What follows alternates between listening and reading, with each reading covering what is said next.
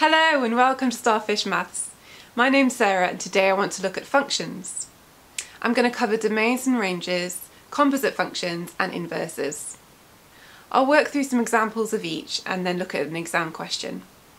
As ever, please do grab a pen and paper, pause the video and work through it yourself, rewinding and fast forwarding as you need. I hope this is helpful. Let's get started. We'll begin with a very simple function. And a function is just really a rule that takes a bunch of numbers to another bunch of numbers. So the numbers that you input take the place of x.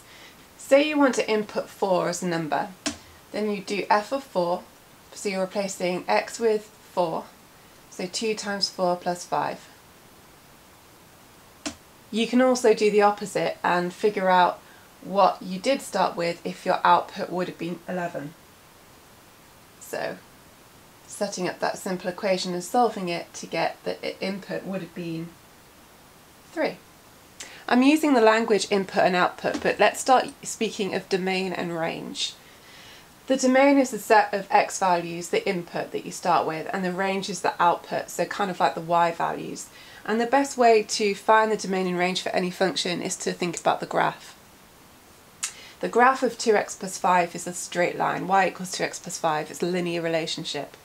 So there's nothing that the domain and the range couldn't be. But what we can do, if we want to, is restrict the domain and then see what happens to the range. So let's restrict the domain to all the numbers between minus 2 and 3. So we'll just put x between those and including them. Sometimes you see um, the domain and the range written in curly brackets. You don't have to use them, but that's sometimes used. As I said, the 2x plus 5 will be a straight line. So that will be crossing at 5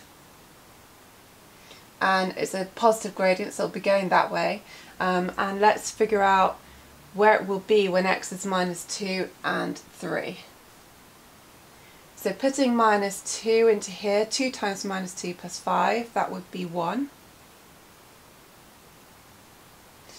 And putting 3 as our x, 2 times 3 plus 5 is 11.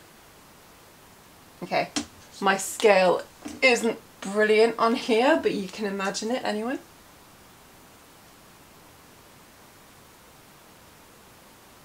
So that's our straight line. The function is restricted, so it begins and ends with minus 2 and 3. And then your range, you can see, is the values, it's fluctuating between on the y-axis, so 1 and 11. And that will include those values as well and this time we can write, we don't write y but we write f of x, the language that we used here. So I hope that's clear, that's domain and range. Let's look at a slightly more complex function now. Okay, here I've chosen a different function. I've chosen a fraction because that sometimes comes up. Um, and thinking about the domain and range for this function, um, unlike the other one, this one, there are going to be some values that it naturally can't be, the domain and the range. So to find those out, we're going to draw the graph. Now obviously you can use a graphical calculator if you've got one, but um, it's really good practice to be able to draw the graph of this. Um, and there's a trick you can use to make this look a little bit simpler so you can draw the graph. What we're going to do is split this into two fractions. So we're going to force the top to look like the bottom. Now of course we don't have x plus 3 on the top, we've got x plus 4. So we actually need to plus another 1 because x plus 3 plus 1 would give us x plus 4. But we've separated it out, we split it into two separate fractions so that we would get that. Those, those things are equal. But by writing it like that, that fraction will cancel down to just 1. And now can you see that looks much more like the graph of 1 over x. Hopefully you know that the graph of 1 over x is asymptotic. It has asymptotes, so it looks like that. Um, and this is a graph transformation of that one. Plussing 1 on the outside makes it move up 1 and plussing 3 with the x makes it move to the left by 3. So those asymptotes are going to move.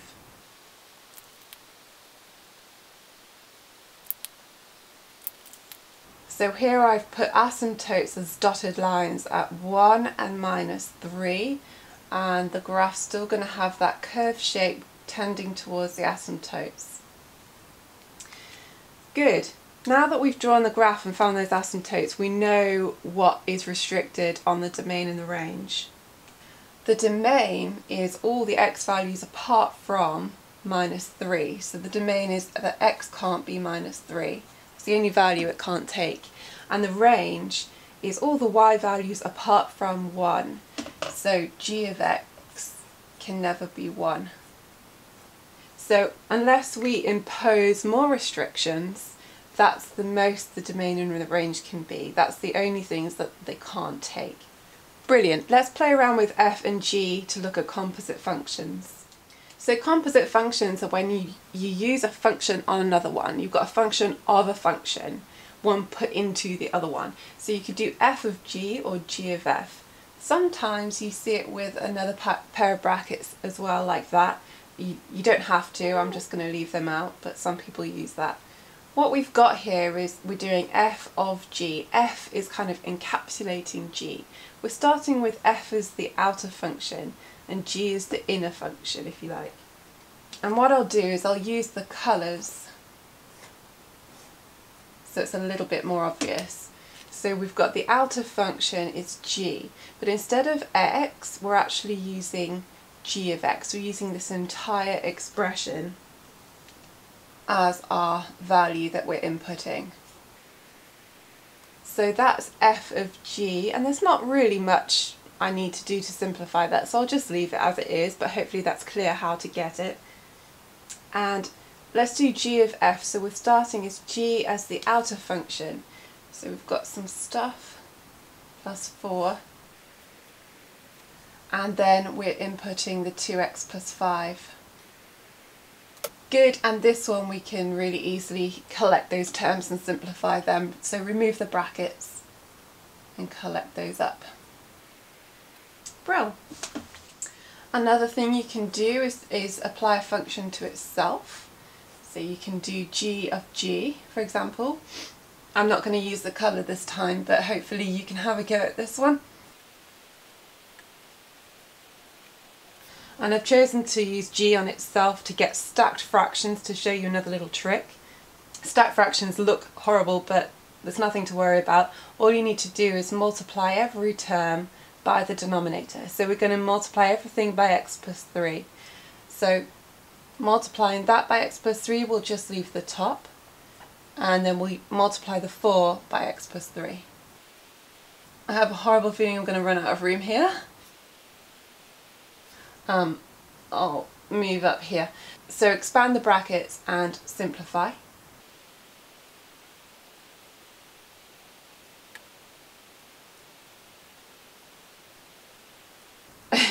Yeah, totally run out of room, but yeah, that's G of G.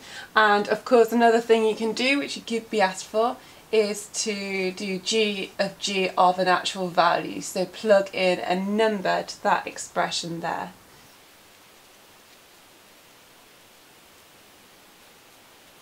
Great, so we've looked at domains, ranges and composite functions. Now let's look at the inverses of f and g. An inverse function is the exact opposite of it.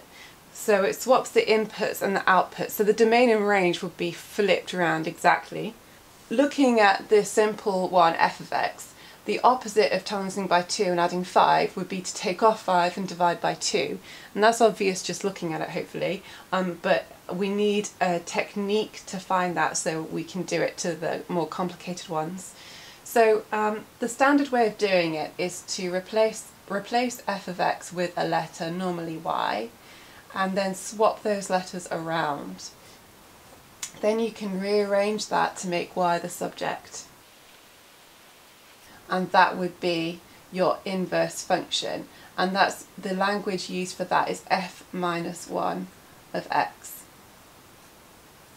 that minus 1 is what you see when you do the inverse of sine, cos and tan, you do inverse sine, sine to the minus 1. Um, so hopefully you've seen that before. Let's take a look at doing the inverse of g now. So again we'll start by swapping over the letters and we'll times up that denominator to the other side. multiply out the brackets. We want to make y the subject, so we need to get both these terms onto one side and everything else onto the other side. Then we can factorise.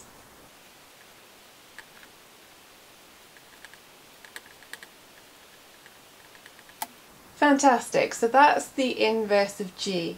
Now as I mentioned earlier, when you do inverse functions it swaps the domains and the ranges. So the domain for this function would be the old range. So I know I've rubbed them out, but I think the old domain was that x couldn't equal minus 3. So that will now be the range of the inverse. And the old range was that it couldn't be 1, so that's going to be the new domain. So that's the domain and the range for the inverse function. Great, let's now look at an exam style question and do a bit more practice on this.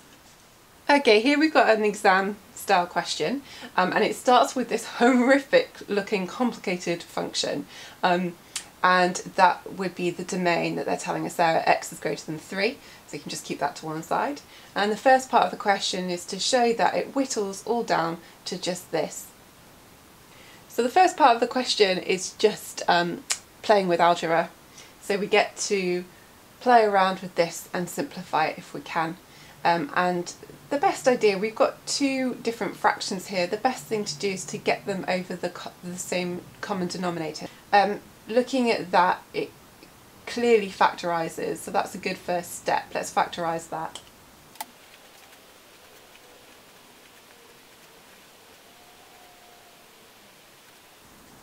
Now by factorising we can see it's got a common factor of x plus 3. So they've, they've both got a common x plus 3. So to get the common denominator we just need the x minus 2 over here. So we'll multiply the top and the bottom by x minus 2 on this fraction.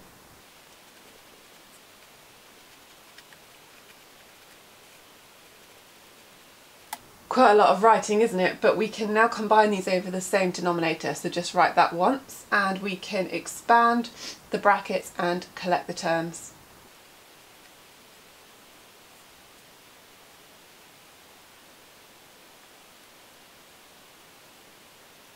My writing's getting very wobbly over there. Um, now we've done that, we can factorise the top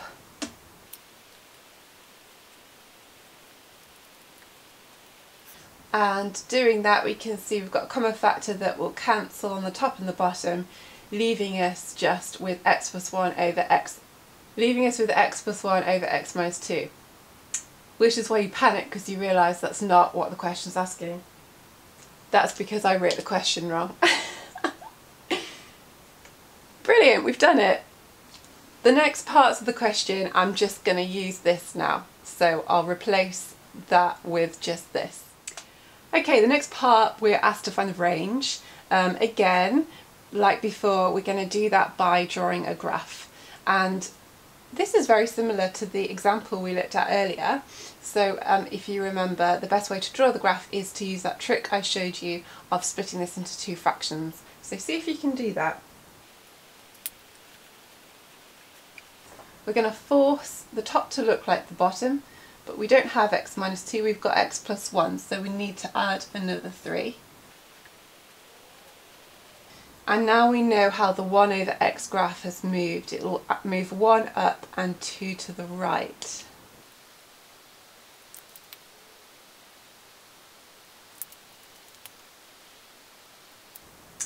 That's the graph of the function. However, they have actually restricted the, the domain. So x is only greater than 3. So x is greater than 3 means we're losing all of this stuff, all of the function before it. We don't care about anything before it, it's just going to start at 3. Um, so the range, the biggest it's ever going to be is at that starting point and then the smallest it ever reaches will be the asymptote and it's not even going to equal those. So the range is going to be capped on both minimum and maximum. So to find that maximum value would be here. We need to see what happens when x is 3, what the y value would be. So that's plugging x is 3 into here. So we'd have 3 plus 1 on the top and 3 minus 2 on the bottom, which is 4. So that's going to be the maximum of g. And it's not going to equal it because um, x would never equal 3. So it's not going to include 4. And then the minimum value is the asymptote here, so 1. And again, it's not going to equal it because an asymptote it will never touch. So that would be the range of g. Brill. There's one more part to this question. Let's take a look at that. Okay, final part. Find the exact value of a for which the function equals the inverse function. So clearly we need to start by finding the inverse function of g. See if you can have a go at that.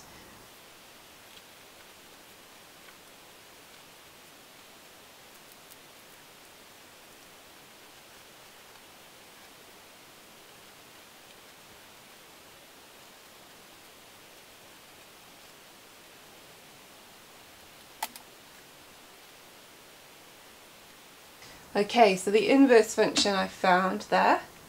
Now we're setting the function equal to the inverse function and we're replacing x with a. And then we're solving that equation. So the best way to do that is to multiply this denominator up to that side and this denominator up to that side. So we're cross multiplying.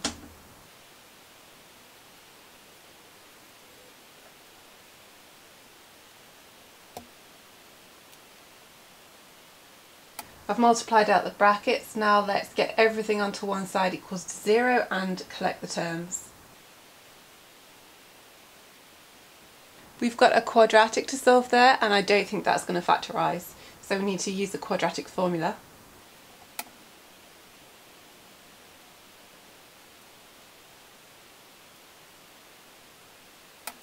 So that there is using the quadratic formula.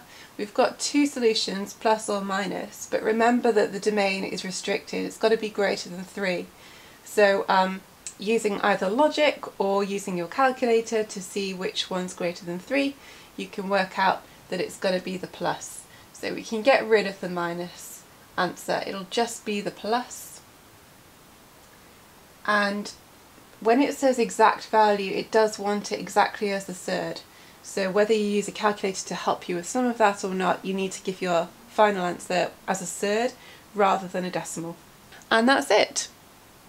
Well, I hope that was clear. I hope that was helpful. Um, there's a lot to function questions and they tend to use lots of bits of other topics like logs or trig or whatever. So practice lots of different ones. Keep on practicing. I hope that was helpful and enjoy.